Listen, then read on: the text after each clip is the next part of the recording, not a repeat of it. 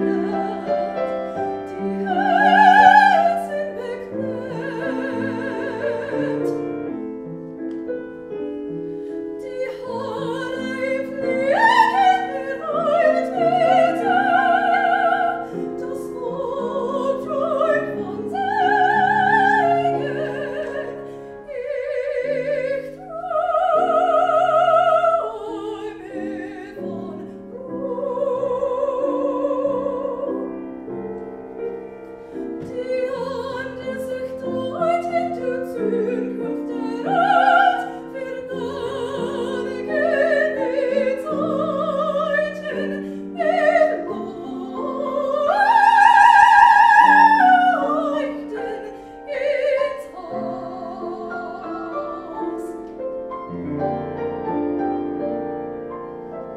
you.